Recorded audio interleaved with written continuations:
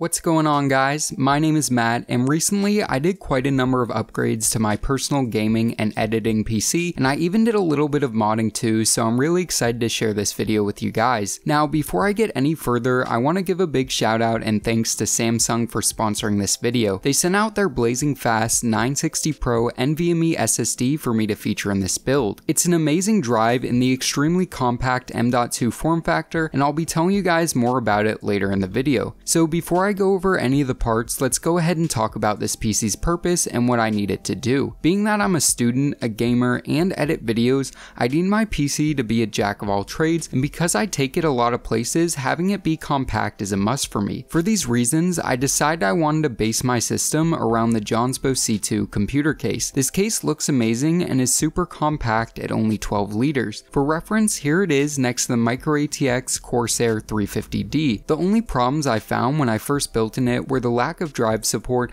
and the fact there was little to no exhaust, meaning components inside ran uncomfortably warm. So what I decided to do was mod the case by using another case's fan grill as a template to drill out a mount for an exhaust fan. 100 holes drilled later and my system now has a top exhaust and runs much cooler and quieter. Also, having an M.2 SSD makes up for the lack of drive mounting options. For my CPU, I went with the Ryzen 7 1700 overclocked to 3.7 GHz. This is an 8 core 16 thread part from AMD that's overclockable, meaning it's great for gaming, editing, and most anything else you can throw at it. To cool the CPU, I used one of the old style Wraith coolers. I used this as it's the best low profile CPU cooler I had on hand that worked with the AM4 platform. For my build, the 1700 is seated inside of the ASRock AB350 ITX AC motherboard. It features built-in Wi-Fi and Bluetooth and a much better header layout than other ITX AM4 boards. The good layout, ample fan headers, and decent overclockability made me decide to use this as my main motherboard for the foreseeable future. For RAM, I'm using Galax Hall of Fame DDR4 RAM, which is a 16GB kit at 3200 MHz. This RAM uses Samsung B-Die, and I haven't had any trouble running it at the full 3200 MHz, which is important as Ryzen CPUs benefit immensely from fast RAM. For internal storage, I'm using a 512GB Samsung Samsung 960 Pro NVMe SSD. This drive is in the M.2 form factor and installs really easily in the back of the motherboard. In terms of features and speed, the 960 Pro offers sequential read and write speeds of up to 3.5 and 2.1 gigabytes per second respectively. Testing out the drive, I found these speeds to be as fast as advertised on my drive. Also, with a 5-year warranty and industry-leading reliability, the 960 Pro is a great addition to any professional's workflow. For me, this drive is going to be great when I make the jump to 4K videos as editing off of an NVMe SSD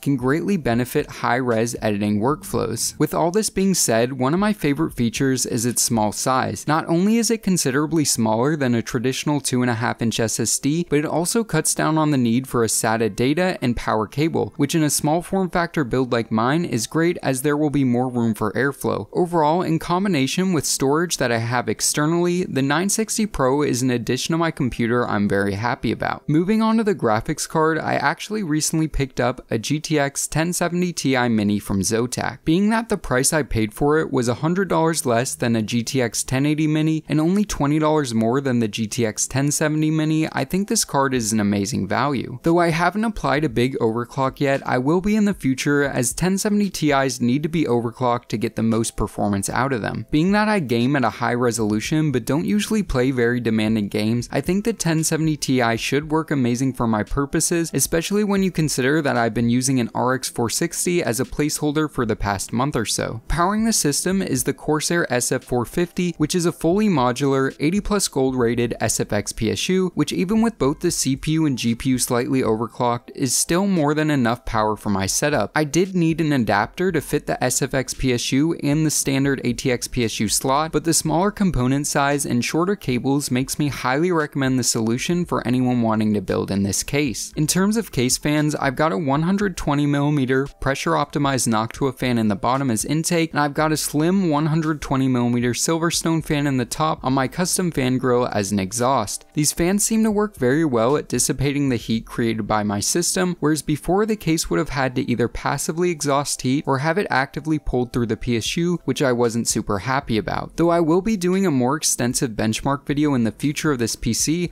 I thought I'd throw a few benchmarks at you guys just so you get a general idea of performance with the system's current configuration and clock speeds. For gaming benchmarks, I tested out three games I play a lot, which are Fortnite Battle Royale, Overwatch, and Rocket League. In Fortnite at 1440p epic settings, my system received an average of 64 FPS and 1% lows of 50. This is an enjoyable experience, but I definitely will be dropping the settings a little bit in the future so I can get much higher frame rates. For Overwatch at 1440p epic settings, the system averaged 102 FPS with 1% lows of 87, and finally in Rocket League at 1440p max setting, the system pumped out an average of 127 FPS with with 1% lows of 110. Overall, I'm very happy with the performance of the system and can't wait to push it even further with some more extreme overclocks. Gaming, editing, and even just general productivity work is a dream on this machine. Boot up times, file transfers, program loading times, and high-res editing all benefit from the Samsung 960 Pro used in this system, which though expensive provides reliable, blazing fast performance. So there you have it guys, my dream gaming and editing PC is complete and I don't think I'll be making any upgrades anytime soon. So yeah guys, I think this wraps this video up. Again, I want to thank Samsung for sponsoring this video and I hope you guys enjoyed it. If you did, make sure to give this video a big thumbs up as well as consider subscribing for more PC and tech related content in the future. And as always, this is Matt from Tech by Matt signing out.